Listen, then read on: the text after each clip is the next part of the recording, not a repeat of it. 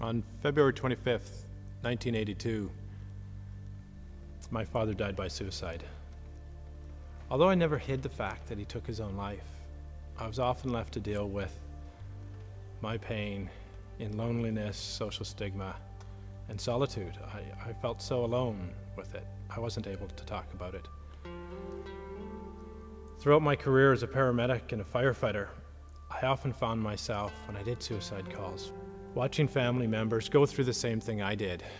And, and, and going through the same pattern made, made me want to say to them, I, I, I, so understand what you're going through.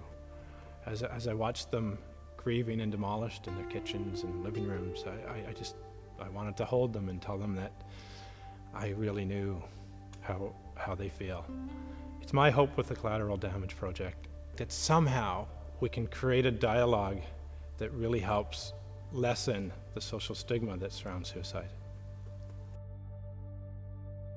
The idea of, of putting a face to those who have lost a loved one to suicide has been with me for over 10 years. I, I passionately believe that by stepping out of the dark and showing that I'm a suicide survivor, we'll begin to help those who face a similar life changing experience today. Imagine what a, a, book of people coming together who've lost a loved one to suicide, what that'll do to help the healing and lessen some of the stigma that we just continue to battle with every day.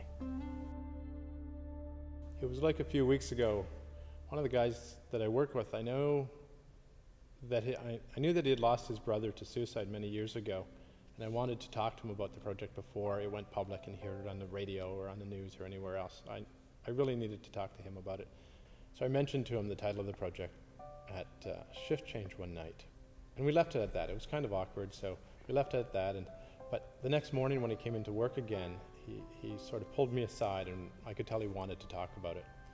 And about 15 minutes later, after a really, really good conversation, he ended it by saying, You know what? I've never talked to anybody this long about my brother.